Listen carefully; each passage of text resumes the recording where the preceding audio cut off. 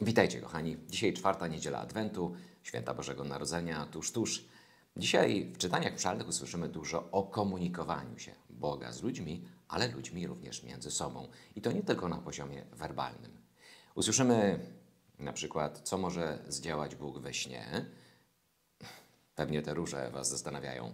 To prezent. Postanowiłem zatrzymać piękny prezent, który dostałem na zakończenie rekolekcji w Kościele Garnizonowym w Toruniu.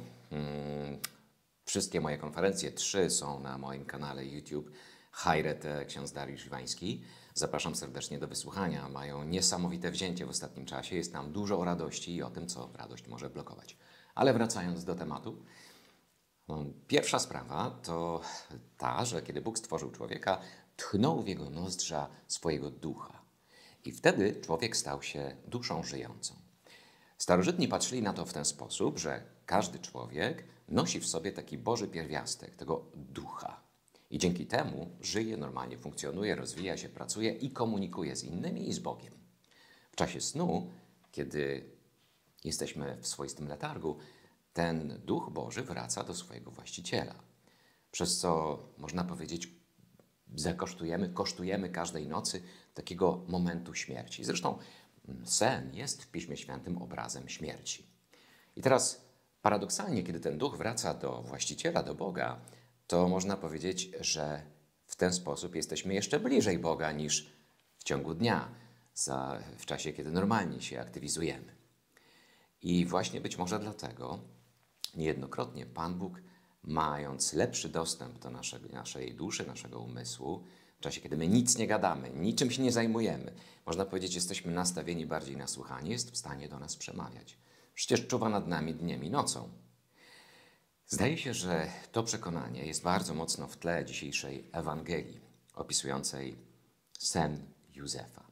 Ale zanim do tego snu doszło, pewnie zmożony i pewnie zdruzgotany, zawiedziony, Józef kombinował, jakby tutaj wyjść z bardzo niezręcznej sytuacji. Czytamy, czytamy bardzo wyraźnie, że no cóż, kiedy doszło do Józefa, że jego małżonka jest już w stanie błogosławionym, a na pewno nie mogło to być jego dziecko, wówczas, no co tu dużo mówić, był zdruzgotany. Jak mogło do tego dojść? Normalnie w judaizmie ślub zawierany jest tak, jakby jest to pewien proces. Rozpoczyna się w momencie, kiedy rodzice zawiążą ze sobą kontrakt ślubny ponad głowami zainteresowanych mężczyzny i kobiety. Od tego momentu są oni już mężem i żoną. Nie zaręczonymi, nie, mężem i żoną. Ale jeszcze musi minąć około roku, żeby mogli wspólnie zamieszkać i żeby mogli wieść życie jak mąż z żoną. Do tego czasu raczej nie powinni się nawet dotykać na sposób intymny, jeśli rozumiecie, o czym mówię. E, dlatego Józef jest tak zszokowany, że właśnie będąc w tym czasie oczekiwania na to zamieszkanie z Maryją, termin techniczny to wziąć żonę do siebie, w czasie tego oczekiwania dowiaduje się, że Maryja zaszła w ciążę. I na pewno nie on jest ojcem dziecka. Według wszelkich praw Starego Testamentu, które przekazał Mojżesz, taką kobietę, jeśli nie ukamionować, to na pewno można było napiętnować jako wiarołomną. Józef jest dotknięty, ale jeszcze do końca chce uszanować swoją małżonkę, chce w jakiś sposób znaleźć takie wyjście kompromisowe z klasą dla, dla nich obojga. Więc postanawia odwołać się do instrumentu znanego wówczas w judaizmie i po dzień dzisiejszy znanego, mianowicie rozwodu. List rozwodowy jej wręczę, przez co ja będę wolny od kłopotu, ona będzie miała też spokojną głowę i być może liczymy, że ojciec dziecka, no cóż, się jakoś ogarnie i faktycznie weźmie za żonę Maryję, która to jest logika Józefa.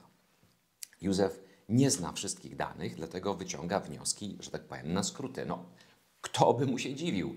Każdy z nas, z nas pewnie w podobnej sytuacji robiłby podobnie.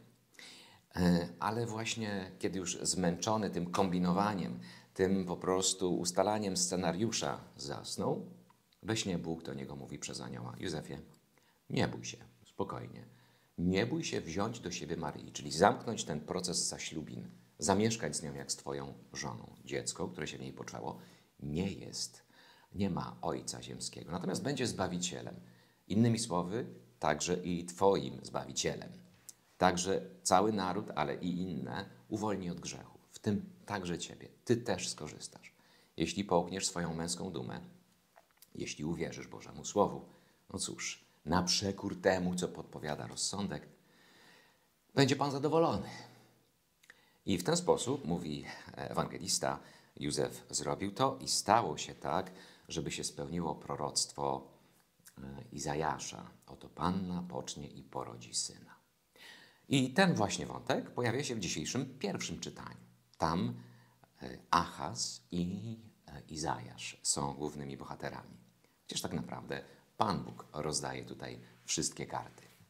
Żeby dobrze zrozumieć to, czy ten kontekst, w jakim to proroctwo zostało wygłoszone, trzeba by zrobić może taką woltę umysłową. Wyobraźcie sobie, że Polska została nagle podzielona na dwa królestwa. Północne ze stolicą w Toruniu, a jak? I południowe ze stolicą w Krakowie. Te dwa królestwa nie połają do siebie sympatią, chociaż jest to bratni naród polski. Teraz północne królestwo, to ze stolicą w Toruniu, wymyśliło sobie, że razem ze Szwecją, z którą weszło w kontakt i w sojusz, mm, wydadzą wojnę e, tej wielkiej sile, jaką jest ZSRR, nazwijmy to ogólnie, imperium na wschodzie. W tamtym czasie, powiedzmy, brakuje im jeszcze jednego gracza do tej koalicji. I oczywiście wzrok pada na południowe królestwo, to z Krakowem jako stolicą. Ponieważ Kraków odmawia współpracy w tej sprawie, hmm, oba królestwa północne, polskie i szwedzkie, decydują się na inwazję na południe, żeby zmusić miejscowego króla Krakowa do tego, by dołączył do ich koalicji. W takiej sytuacji jest właśnie Achaz. Jest królem południowej części Izraela, natomiast północna zbratała się z Syrią, z Damaszkiem. Te dwa północne królestwa, Damaszek i Królestwo Północne Izraela, chcą przekonać siłą południe, Achaza jako króla, żeby dołączył do ich koalicji, ponieważ on nie chce, będą go oblegać. Więc Achaz co zrobił? Wymyślił, że dołączy do silniejszego, do tego ZSRR, które wówczas było reprezentowane przez Asyrię. Cena tego byłaby niebagatelna. Raz, że byłaby to zdrada, że byłoby to nasłanie obcych wojsk na pobratymców. Trzy, że no, cała kultura, którą by zassali w ten sposób, mogłaby wyprzeć ich własną. Ale król nie chce słuchać. Wobec tego Izajasz, już nie mając jakichś argumentów, które mogłyby przemówić do rozumu tego króla, mówi: Weź, ty chłopie, proś dla siebie o znak. Jeśli nie wierzysz, że to, co mówię, czyli powstrzymaj się od działania, bo to są słowa proroka, on mówi: nic nie rób, zobaczysz, Bóg rozwiąże ten problem. Nawet jeśli oni podejdą, oblegną miasto, Bóg rozwiąże ten problem. Tylko nic nie rób, błagam. Achaz już zdecydował. Izajasz mówi zatem: Nie rób tego błędu, nie wiąż się za Syrią. I jeżeli chcesz jakikolwiek znak, jakikolwiek cud na niebie, na ziemi, tylko wymyśl. Bóg sprawi go, tak żebyś wiedział, że moje słowa od Boga pochodzą. Wtedy to, to jest moja ulubiona scena. Achaz mówi, ja, mały żuczek, będę prosił Boga. No, oczywiście to jest trochę dodane. Ja? I kim ja jestem, żebym Boga prosił o znak? No właśnie. Ale nie mówi tego dlatego, że jest naprawdę taki pobożny. Chce udawać pobożnego. On już sobie wymyślił, Słowo Boże idzie obok, on jakby ma swoją wizję i będzie ją realizował. Nie mówi tego dlatego, że jest taki pobożny, tylko dlatego, że jest taki niepobożny, że Słowo Boże dla niego niewiele znaczy, ale wszystko ubrał w szaty pobożności. Myślę, że to jest bardzo mm, jakby taki częsty przypadek, jeśli mogę tak powiedzieć, że my tak sobie Mamy swoje takie. Pan Bóg swoje, a my swoje. Nawet gdyby powstały jakieś, nie wiem, cuda, jakieś. Mhm, Pan Bóg miałby swoje, a my swoje. Ale zobaczcie, że tutaj jest właśnie komunikacja. E, Bóg się posługuje ludźmi, żeby zakomunikować swoją wolę. Czasem tak jest, że małe dziecko jest w stanie przemówić do ciebie, do mnie i po prostu zwrócić uwagę na jakąś głupotę, która stała się naszym udziałem. I pochodzi to nie od kogo innego, tylko od Boga. Jeśli natomiast my wiemy wszystko, mamy lepiej, mamy tutaj, mhm, no to umówmy się, będzie jak będzie. Ale jest jeszcze trzeci przykład komunikacji w dzisiejszym, dzisiejszych czytaniach. Chodzi mianowicie o list świętego Pawła do Rzymian. Paweł pisze ten list niejako po to, by go poprzedził. Ten list miał go poprzedzić w jego podróży do Rzymu.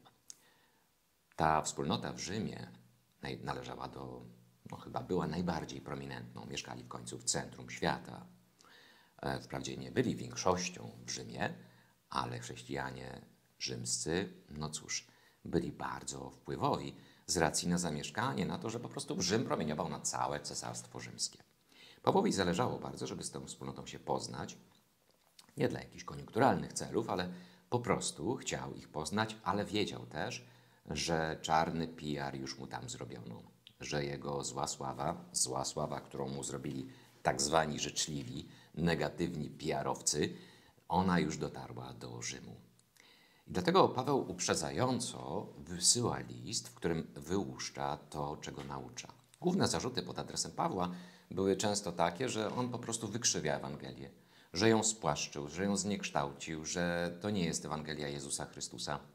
I właśnie od tego Paweł zaczyna swój list, że jest apostołem, sługa Jezu, sługą Jezusa Chrystusa z powołania Bożego do głoszenia Ewangelii. I uwaga, jego Ewangelia to treść o synu pochodzącym według ciała z rodu Dawida, a ustanowionym według Ducha Świętości, pełnym mocy, Synem Bożym przez powstanie z martwych. Ewangelia o Jezusie Chrystusie, naszym Panu. W ten sposób Paweł streścił wszystko to, czego naucza. To jest tak naprawdę nasza Ewangelia w pigułce.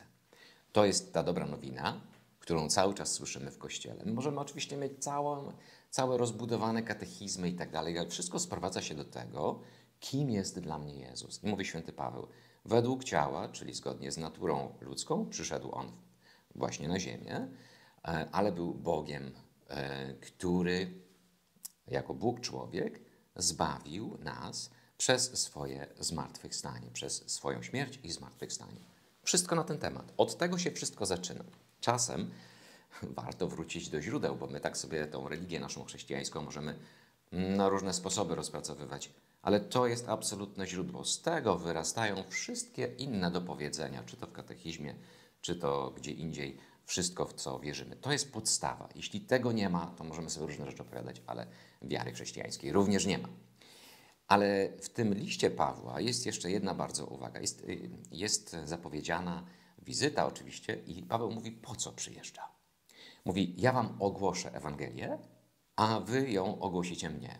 Po co głosić rzeczy, które obie strony znają? Nie chodzi tutaj tak naprawdę o powielanie treści już usłyszanych wcześniej, chociaż to też jest ważne, żeby od czasu do czasu przypominać sobie, odświeżać pamięć. Chodzi tu bardziej o ja Wam pokażę, co Ewangelia ze mną robi, w jaki sposób nią żyje. Wy mi pokażecie, jak Wy żyjecie Ewangelią i w ten sposób nawzajem się pokrzepimy. Oto komunikat, o który chodzi najbardziej. Człowiek może usłyszeć od Boga różne rzeczy i to jest piękne. Może je usłyszeć albo we śnie, albo przez znaki, albo przez innych ludzi, podpowiedzi różne zbawienne. Ale najczęściej e, zwraca uwagę, czy ma na niego wpływ wywiera na nim wrażenie świadectwo innych ludzi. Jeśli ja żyję tak, jak mówię, tak, jak wierzę, to ja nic nie muszę więcej robić.